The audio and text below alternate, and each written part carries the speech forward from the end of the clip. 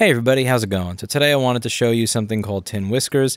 You could see here that there's that little pattern between the tooth caps and the top and the bottom resistor. And over here on the left, you can see on the left side, that resistor, there is a tin whisker forming that's shorting the top of the resistor to the bottom. It looks like some sort of jagged, silvery earring.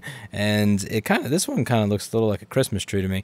But this is one of the reasons that you'll note that when it comes to certain military applications, particularly when it comes to NASA, that they are not using lead-free solder, they're using leaded solder. And the reason that they're still using leaded solder for some of these applications is because if you're dealing with something that's in space, you really can't, you know, if, if, if it's, you know, hundreds of thousands of miles away from Earth or something like that, you, you can't just like send someone out there to, to fix your solder joint. It's, and also when it comes to space, in space, this is going to happen way more often than it does on Earth because of the atmosphere and everything else.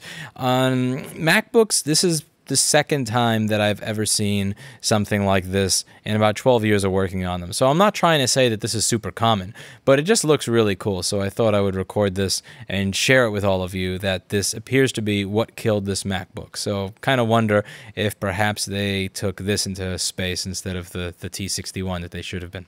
That's it for today. And as always, I hope you learned something. I'll see you all in the next video. This is an A1932 model MacBook Air.